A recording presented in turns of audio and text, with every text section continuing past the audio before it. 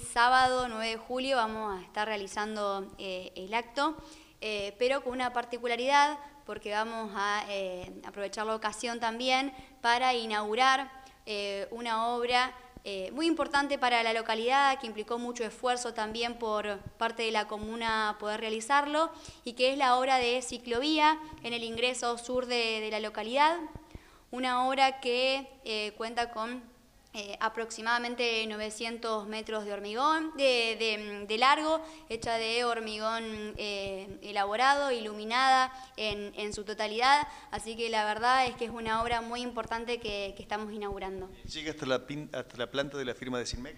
Sí, eh, llega hasta una de las empresas también más importantes de, la localidad, incluso cuando se, se proyectó la obra, uno de los objetivos también era eso, que genere seguridad eh, en el tránsito, digamos, de los empleados que se trasladaban hacia la, hacia la empresa.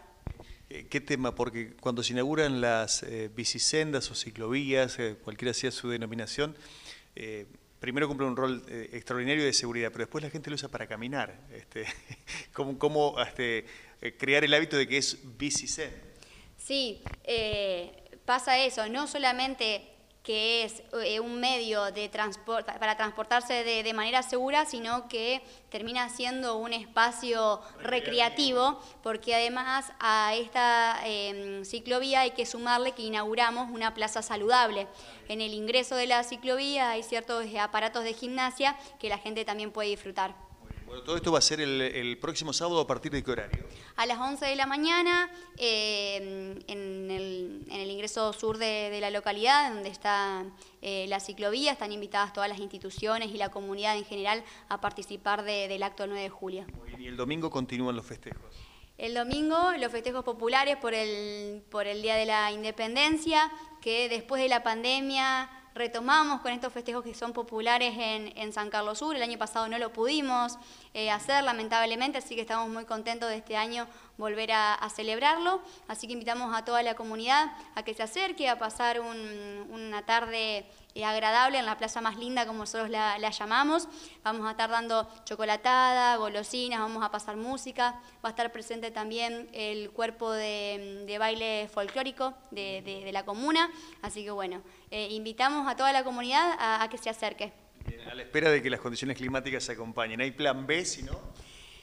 Podemos eh, tal vez ver cómo vienen los festejos también como porque lo que sucede en esta época es que en todas las localidades hay distintos eventos también, entonces tratamos de no pisarnos unos con otros, o por lo menos eso tratamos de la comuna de San Carlos Sur.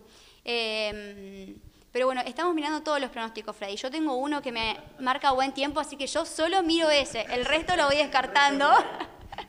Bueno, este, cita entonces para el sábado con inauguración de obras, el domingo con actividades recreativas y mientras tanto eh, hay eh, una serie de acciones importantes eh, que está llevando a cabo la comuna, que es la, pavimentación de cuadras y la realización de cordón cunet. Sí, estamos, ya hemos finalizado con la mm, obra de pavimento en calle Pasaje América, que ahí también Freddy nos acompañó el tiempo. Em, solo que todavía no los habilitamos porque durante un tiempo la calle debe permanecer cerrada. Y esta semana comenzamos con la segunda cuadra de pavimento, que es calle Güemes, entre San Martín y, y Beck Bernard.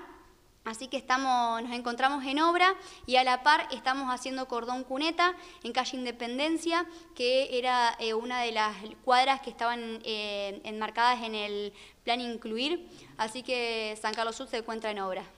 Florencia, muchas gracias. Gracias a vos, Freddy, por el espacio y un saludo a todos los que nos están escuchando. Y los esperamos el domingo a partir de las 2 de la tarde en la Plaza 27 de septiembre.